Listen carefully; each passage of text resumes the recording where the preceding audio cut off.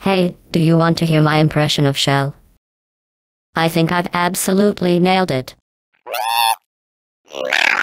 Okay, here I go.